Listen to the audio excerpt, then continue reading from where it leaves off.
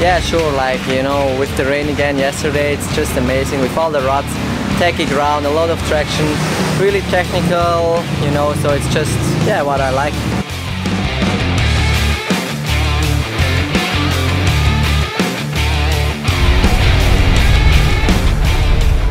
We're at the MXGP of Switzerland and uh, track's really good actually.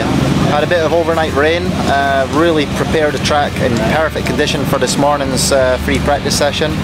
A lot of technical ruts, uh, jumps are pretty uh, technical as well, landings are a bit soft just not really a lot of, uh, of, of, sort of different things that you can do. There's still sort of one main main good way around it and uh, the lap times are pretty close but I think once that main line starts to get a bit busted up and gets a bit broken out I think it's really going to develop and I think over the course of the day we're really going to be seeing uh, some good racing so really looking forward to it. Keep the head down and uh, hard work and hopefully we'll get out with a good gate pick for tomorrow.